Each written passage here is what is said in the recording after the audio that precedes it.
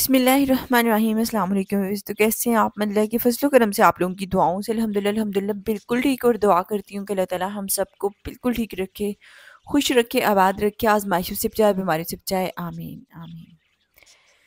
तो चलते हैं जी आज की रेसिपी की तरफ़। लेकिन रेसिपी स्टार्ट करने से पहले आप सबको देसी खाना टिप्स एंड ब्लॉग पे खुश आमदीद। अगर आप फेसबुक पे हैं ट्विटर पे हैं, टिकटॉक पे हैं, इंस्टा पे हैं, यूट्यूब पे हैं, जिस पे सोशल मीडिया पे हैं, सभी सोशल मीडिया पे आप हमें देसी खाना टिप्स एंड ब्लॉग के नाम से सर्च कर सकते हैं और फॉलो कर सकते हैं। और आज की फ्रेश फ्रेश ऑर्गेनिक मज़ेदार सी रेसिपी में क्या बनने वाला है? चलिए आपको बताते चलते हैं जी। आज बनेगा चर्सी चिकन पुलाव। तो जैसे कि आप जानते हैं कि फ़्रेश फ्रेश खाना हो और फ्रेश फ्रेश सीन हो तो क्या मज़ा होता है? बहुत ही अच्छा लगता है। तो स्पेशली जो लकड़ी की आग पे खाना बनता है ना, उसका अपना ही मज़ा होता है। तो चलते हैं, सबसे पहले तो चिकन धो लेंगे। चिकन मैंने लिया है यहाँ लेग साइड का और थ्री के जी जो है वो चिकन लिया है। जल्दी से इसे अच्छे से धो के जालिमा बर्तन में थोड़ी देर के लिए पड़ा रहने दिया। उसके बाद जल्दी से इसे थाल में निकाल लिया और यहाँ जो चील है ना, वो बहुत तेज़ है, बहुत तेज़ है। उससे मुझे बच बच के तो फिर अपनी चीज़ें चिकन रखना पड़ता है, वरना वो उड़ा के, उड़ के ले जाती है, इसलिए मैंने जल्दी से उसे कवर कर दिया है। यहाँ जल्दी से चलते हैं, अभी धूप में थोड़ी देर बैठते हैं, क्योंकि मौसम बहुत अच्छा है तो और आजकल थोड़ा दिल भी चाहता है कि धूप में थोड़ी देर के लिए बैठा जाए। तो धूप में थोड़ी देर बैठ के हम लोगों ने थोड़ा मसाला तैयार कर लिया है, और साथ ही साथ में लहसुन वगैरह छील लिया। इसी के साथ चलते हैं जी आज की रेसिपी की तरफ़। आग हल्के हल्के से जलना शुरू होगी, बस साथ में ही कुकिंग स्टार्ट कर लेते हैं, क्योंकि खाना वो ज़्यादा मज़े का होता है जो हल्की आग पे बनता है। सबसे पहले कुकिंग ऑयल शामिल करेंगे। चावल जो है वो भिगो के, धो के रख लिए और चावल, अगर आपको ये चावल चाहिए चूँकि खाने में बहुत ही ज़्यादा टेस्टफुल पकाने में बहुत ही आसान और साफ़ सुथरे सुच्चे मोती जैसे हैं तो आप हमारे नंबर पर रब्ता कर सकते हैं और घर बैठे मंगवा सकते हैं अपने पसंदीदा और मज़ेदार से चावल। हमारा नंबर है zero double three double six double one triple zero two. प्याज की तरफ़ चलते हैं, जल्दी से प्याज की कटिंग कर लेते हैं। तो मीडियम साइज़ के दो अदद जो है ना, प्याज लें, इसको यूँ स्लाइसिस में काटें और ये चिकन पलाव बहुत ही ज़्यादा टेस्टफुल है, बहुत ज़्यादा टेस्टफुल है। अगर आपने एक दफ़ा बना के खिला दिया ना तो सब बिरयानी के फ़ैन जो है ना, वो बिरयानी को गुड बाय बोल के इस पलाव पे आ जाएँगे। इतना टेस्टफुल होता है ये। स्लाइसिस देख सकते हैं, प्याज के हम लोगों ने काट लिए हैं और साथ ही साथ में जो है ना, अभी जैसे ऑयल अच्छे से गर्म हो जाएगा तो उसमें आपने प्याज के स्लाइसिस शामिल कर देने हैं, ताकि ये साथ में फ्राई होते चलें और साथ साथ में हम लोग जो है ना तैयारी करते चलेंगे। टाइम बचाएँगे और काम करेंगे इन इन अल्लाह ताला का शुक्र अदा भी करेंगे, जिसने अल्लाह ताला ने हमें इतनी अच्छी ज़िंदगी दी, इतने अच्छे इन्वायरमेंट दिए और इतना ज़्यादा रिस्क दिया और हमारी ज़िंदगी में इतनी आसानियाँ फरमाई तो अल्लाह ताला का शुक्र अदा करते चलें और अपने काम करते चलें। इसी में है, सुकून है, इसी को ज़िंदगी कहते हैं। थोड़ा सा नमक शामिल कर दिया है ताकि प्याज फ्राई होने के साथ साथ मेल्ट होना भी शुरू हो जाए। तो अगर आपकी लाइफ आपको मुश्किल लगती है तो बस आप जो है ना, अल्लाह की तरफ़ रजू कर लें। तो इन शाला आपकी ज़िंदगी आपको बहुत आसान और पुरसकून लगने लगेगी और हो जाएगी। हर मुश्किल हर मुश्किल का हल है, बस आपको मांगने की ज़रूरत है, हाथ उठाने की ज़रूरत है। जब आप अल्लाह की तरफ़ देखने लग जाएँगे ना तो हर काम खुद ब खुद होता चलेगा। दोबारा आपको कुछ भी करने की, कुछ भी सोचने की ज़रूरत नहीं पड़ेगी। अल्लाह ताला खुद ही हमारे हमारे लिए, आपके लिए आसानियाँ फरमाते चलेंगे। तो चलते हैं जी, अभी मिर्ची मैंने काट ली, सब्ज़ मिर्च और इसको मैंने क्रश कर लिया। साथ ही साथ में चलते हैं टमाटर की तरफ़। यहाँ टमाटर आपको थोड़ी मकदार में ज़्यादा चाहिए। तकरीबन आपने आधा किलो से तीन पाव तक यहाँ टमाटर का इस्तेमाल करना है क्योंकि इस पुलाव में टमाटर का थोड़ा ज़्यादा इस्तेमाल है। टमाटर को आपने यूँ ही स्लाइसिस में काट के इसको आप प्लेट में निकाल लीजिएगा और साथ साथ में जो जैसे जैसे हम लोगों ने इस रेसिपी में चीज़ें इस्तेमाल होनी है वैसे वैसे तैयार भी करते चलना है और आपको बताते भी चलना है कि कैसे। तो ये देखिए, सब्ज़ मिर्च जो है ना, हम लोगों ने क्रश करके रख ली है। दरदरी सी कुछ आपने कूट लेनी है और साथ में प्याज में चम्मच चलाते हुए ये यहाँ देखें, प्याज फ्राई होना शुरू हो गया है। जल्दी से ऐसा करती हूँ कि सब्ज़ मिर्च को निकाल लेती हूँ और जल्दी जल्दी से दूसरे जो चीज़ें हैं, लहसन है, इसको कूटना है। इसको मैं इस क्रशिंग जार में शामिल कर रही हूँ और साथ ही साथ में चम्मच इसको कूट लेती हूँ। तो लहसुन, क्योंकि देसी वाला अभी फ़िलहाल बस थोड़े दिन में हो जाएगा, अभी दूसरी इस्तेमाल करना पड़ेगा, फ़ार्मिंग वाला। देसी लहसन का इस्तेमाल करें यहाँ। अगर आपको ये वाला लहसन नहीं मिल रहा तो फिर आप जो फ्रेश लहसुन आजकल चल रहा है ना, उसके बस वाइट वाला जो नीचे वाला हिस्सा वो इस्तेमाल करेंगे और ग्रीन वाला इसमें इस्तेमाल नहीं होगा। लहसुन को कूट के रख लिया है मैंने, साथ ही साथ में अदरक की तरफ़ चलेंगे अभी हम।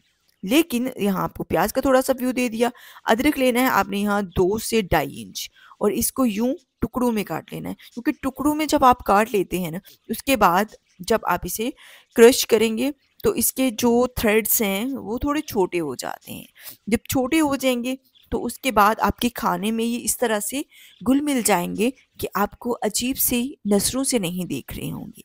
तो देख सकते हैं, यहाँ प्याज अच्छे से फ्राई हो चुका है। अब इसमें सबसे पहले जाएगी मोटी कुटी लाल मिर्च।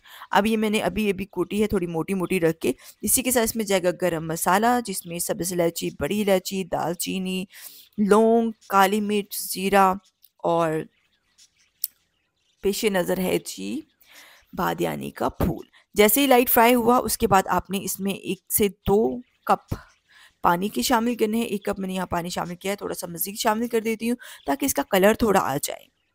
तो इस तरह से जो है ना, प्याज जो मिक्स हो जाएगा एक और दूसरे नंबर पर इसका कलर जो है ना, बहुत ही प्यारा सा आता है। तो ये देखिए, यहाँ चम्मच चलाते हुए हमने प्याज को मिक्स करना शुरू कर दिए ये बहुत जल्द मिक्स हो जाएगा, साथ ही साथ में अभी चिकन की तरफ़ चलेंगे। तीन किलो चिकन धो के जालिमा बर्तन में थोड़ी देर के लिए रखना है, उसके बाद आपने इसको बेशक किसी भी बर्तन में रख लें और यहाँ चिकन को शामिल करते हैं और साथ साथ में जो है ना, हम लोग चम्मच इसमें चलाएँगे और इसको अच्छे से भून लेंगे। चिकन को जितना अच्छे से भूनेंगे, उतना ही ज़्यादा अच्छा जायका आएगा आपके पलाव में।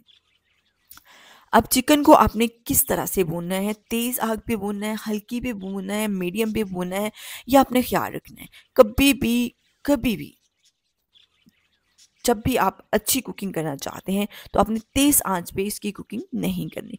चिकन के जाते ही आपने इसमें क्रश किया हुआ लहसुन शामिल करना है, जो कि आपने देखा, हमने तकरीबन दो तीन जो कलियाँ हैं ना, वो कूट के रख ली थी। एकदम फ्रेश वाली। इससे आपका जो पुलाव है ना, वो करारा भी होगा और टेस्टफुल भी होगा। साथ ही साथ में इसमें अदरक जो क्रश करके रखा था, वो शामिल करेंगे। अब यहाँ देखिए कि चिकन का अभी कलर चेंज नहीं हुआ तो हम लोगों ने यहाँ अदरक और लहसुन शामिल कर दिया है। साथ ही साथ में इसमें कुटी हुई सब्ज़ मिर्च भी शामिल कर दीजिएगा। कलर चेंज होने से पहले पहले आपने ये सारा कुछ शामिल करना है, फिर चिकन को आपने भूनना है इसके साथ। यानी कि अब इसका कलर चेंज होने देंगे और जैसे ही कलर चेंज हुआ, उसके बाद आपने इसमें टमाटर शामिल करने हैं। टमाटर के शामिल करने के बाद अब चिकन जो है ना, एकदम स्टीम पे आप ले चलेंगे। मतलब हल्की आँच पे आपने आप कवर करके इसे पकाना है। अब पकाना कब तक है?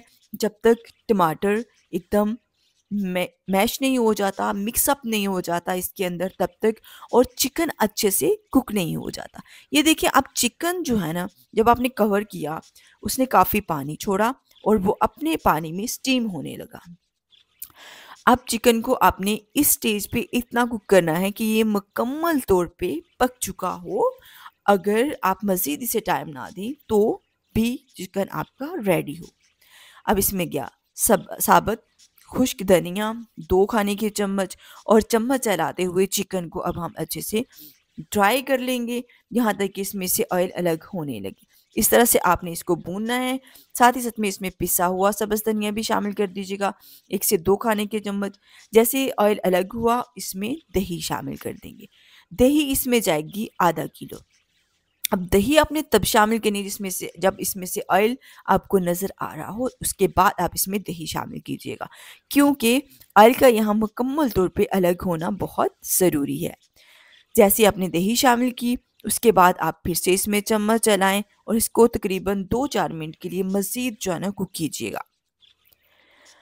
अब जैसे ही कुकिंग हो गई दो चार मिनट के बाद इसमें पानी शामिल करें, जो कि चावलों के मुताबिक होगा। एक बाउल अगर आपने ये चावल का लिया है वन एंड हाफ़ बाउल आप जो वो यहाँ पानी का शामिल करेंगे। यानी कि हमेशा आप तकरीबन हाफ़ ज़्यादा पानी शामिल करेंगे चावल की मकदार से मुताबिक। और चावल को आपने तकरीबन तकरीबन एक घंटा ज़रूर भिगोना है। इससे कम टाइम मत लीजिएगा, क्योंकि चावल जितना खिला बनेगा मकदार में, उतना ही ज़्यादा फूला होगा और ज़्यादा अच्छा बनेगा जितना ही आपने पहले से भिगो के रख लिया। अगर आपने फ़ौरन से धो के, फ़ौरन से कुक किया है तो चावल उतना अच्छा नहीं बढ़ेगा साइज़ में ना ही उतना मोटा होगा, ना ही उतना लंबा होगा और ना ही उतना ज़्यादा टेस्टफुल होगा। इसलिए कोशिश करके आपने पहले से इसको भिगो के रख लेना है। अब जैसे ही चावल शामिल किया, चम्मच चलाएँ, नमक टेस्ट कर लीजिएगा और इसको कवर करके पकने दीजिएगा। अब जैसे चावल आपने शामिल किया तो आग को आपने फ़ौरन से थोड़ा तेज़ करना है, ताकि चावल में जल्दी से बॉयल आ जाए, क्योंकि इस स्टेज पे आग का थोड़ी देर के लिए तेज़ होना बहुत ज़रूरी है। जैसे ही चावल में अच्छे से बॉयल आ गया कुछ इस तरह से, अपने एक दफ़ा हल्के हाथ से इसमें चम्मच चलाना है। अब देखिए, जैसे आपने चम्मच चलाया, उसके बाद आपने फिर से इसे कवर कर देना है। कवर करने के बाद आपने आग को थोड़ा हल्का करना शुरू कर देना है। जैसे आपने आग को थोड़ा हल्का किया, उसके बाद आपने कोयला जो है ना, वो सारे का सारा बाहर निकालना है। क्योंकि चूल्हे के ऊपर जब आप इस तरह के लकड़ी के स्टोव पे ऊपर कुकिंग कर रहे होते हैं तो अगर आप इस तरह से दम लगाएँगे तो बहुत ज़्यादा चावल जो है ना पैंदे के साथ चलना शुरू हो जाएँगे। लेकिन अगर आपने कोयले पे तार के रख लिया और उस पर दम लगाया तो इसके से चावल जो है ना, अच्छे से स्टीम भी हो जाता है, यानी कि दम में पक भी जाता है और खिला खिला भी होता है और बिल्कुल एक भी दाना चावल का ज़ाया नहीं होता। दम आपने देना यहाँ तीस मिनट का। तीस मिनट के बाद का माशाल्लाह से माशाल्लाह से देखिए कितने मज़े का जो है ना आज का पुलाव बना है। अब जल्दी से मैं प्लेट में निकालूं, इससे पहले कि मेरा दिल चाहे कि मैं पतीले में ही खाने बैठ जाऊँ। नहीं, ऐसा नहीं कुछ भी होने वाला। चलते हैं जी, जल्दी से प्लेट में निकालते हैं। माशाल्लाह से देख सकते हैं कि चावल एकदम खिले खिले मज़ेदार से, खुशबूदार से, जायकेदार से हो चुके हैं तैयार। अल्लाह ताला इसके बनाने वालों को, खाने वालों को सेहत दे, तंदुरुस्ती दे, ज़िंदगी दे, आमीन। इसी के साथ मुझे साथ दीजिए, अपना ख्याल रखिएगा, अपने घर वालों का ख्याल रखिएगा। रेसिपी अच्छी लगे तो लाइक, शेयर, सब्सक्राइब ज़रूर कीजिएगा। खुश रहें, आबाद रहें, हँसते रहें, मुस्कुराते रहें। ढेर सारी दुआओं के साथ और मज़ेदार से आज के चर्सी चिकन पलाव के साथ हम बोलते हैं आपको आने वाली वीडियो तक के लिए अल्लाह हाफिज़।